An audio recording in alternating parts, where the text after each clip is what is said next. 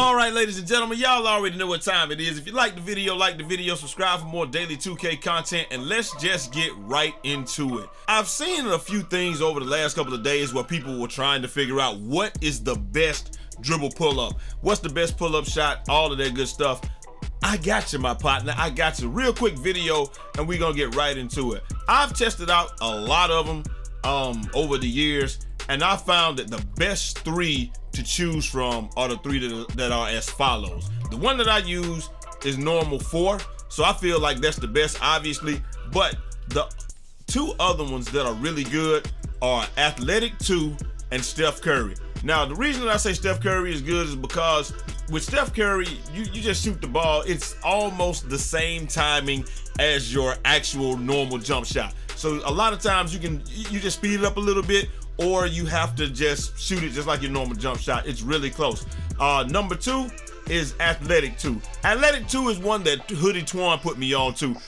Hoodie Twan last year was a two-way sharpshooter, and all he shot was faders, and he did not miss. Uh, one of the reasons that he told me is that it's just easy to time, and also if you can't see your arms or your hands or anything, you can look at his legs you can kind of time it off of his legs or what have you. And uh, the one that I'm gonna show you today is uh, my personal favorite. It's the one that Darth Vader T. Mizzle himself uses, and that's uh, normal four. Normal four for me is probably one of the most consistent um, it's just the most consistent. It gives you the most time to make adjustments. It's the easiest to read, and uh, you can just you can just do you can just hit shots. Hey, and before we get into all of that, let me show you something real quick. One of my Instagram followers hit me up and he was talking about one of his uh he was talking about his jump shot. He said he uses jump shot his base 20.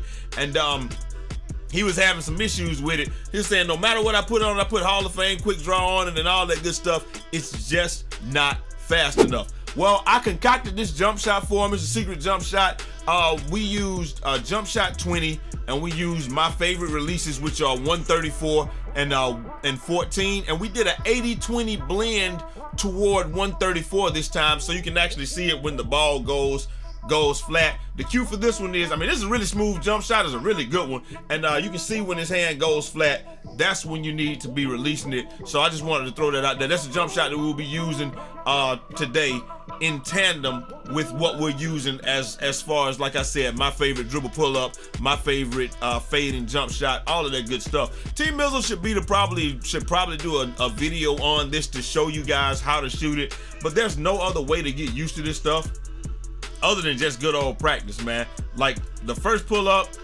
you I gotta I didn't expect that one.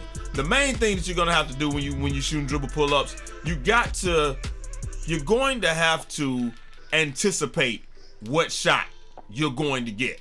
So you know if you're going running straight to the corner, you know he's gonna fade, and so you guess that's like a one-two type of type of deal.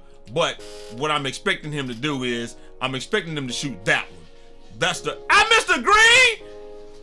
I missed the green, bro. Anyway, look, that's the one that I was expecting him to do.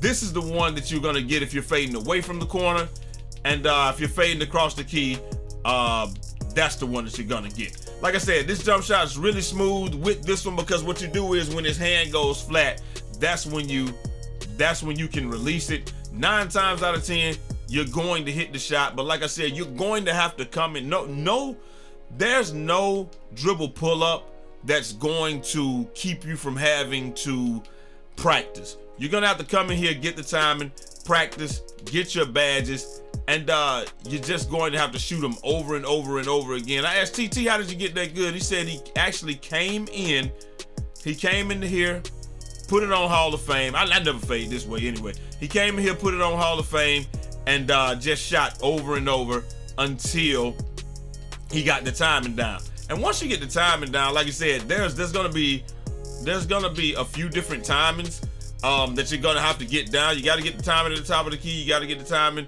the timing down, fading toward the corners, and you're gonna have to get the timing down on the actual pull-ups. Um, the pull-ups, like I said, they are uh, they are significantly quicker. You see how they say it's slightly late? They are significantly quicker when you get those animations. So normally when you get, as soon as you see that you got that animation, you probably got to come off of it.